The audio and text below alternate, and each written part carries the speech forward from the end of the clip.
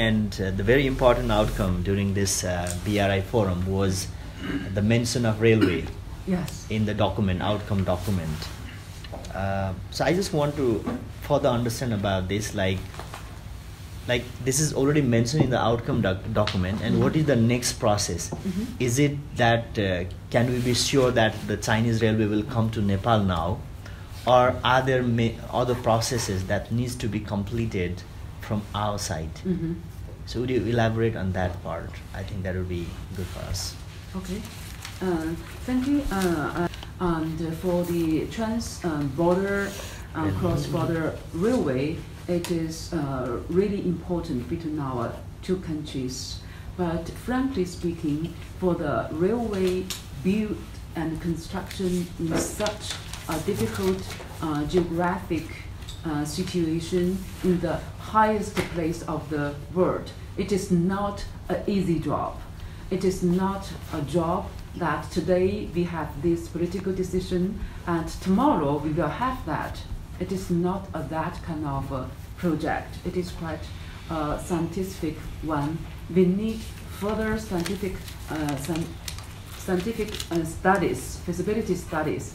Uh, in the uh, normal practice, to build a railway, we need at least four part of uh, uh, preparations for a kind of construction. The first is pre-feasibility study.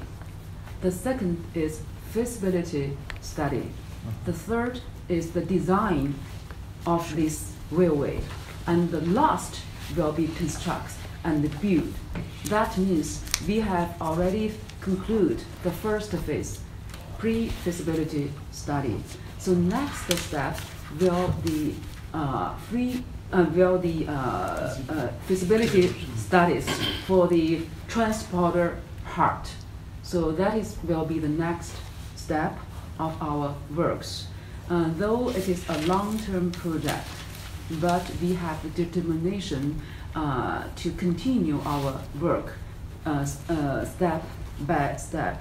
We should not stop that kind of work, and we should also not looking forward it is completion in two or three years. So we have to have a very scientific attitude to this kind of uh, project. So, So are, are Mm. Both Nepal and China are they enter into the discussion of funding modality? Mhm. Now how this project is going to be funded? Is there any discussion between the two countries? Yeah, uh, the relevant department right now is uh, discuss the funding of feasibility study. Only discussion for the feasibility study because for the feasibility study it's also uh, need a big amount, the big amount of funds. Yeah. Yeah. Do you have an idea like how much amount for that feasibility study? Oh, not yet. Yeah. because it is very uh, Yeah, last time I was and. Uh, I came across the news report that said like 35 billion, and another report said it's just 2.5 billion something. So pretty confusing. Like So sometimes I was also confused that where did the figure come from. A question about uh, again the railway project. Uh, uh, even if it is uh, technologically uh, feasible, uh, it, that is be decided uh, because the feasibility study is yet to be carried out. The Nepalese government has been you know, suggested not to take loan.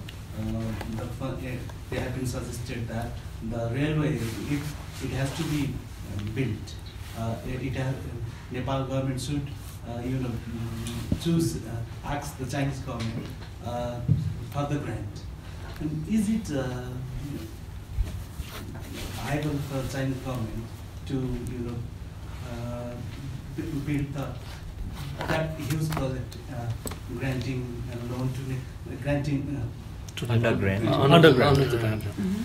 Maybe after the feasibility study, we will know that how will this railway cost. So then we will discuss the next step. So the first of all, we would like to start the feasibility study. So we have to say something according this kind of uh, studies. Yeah. Not yet discussed. Mhm. Mm.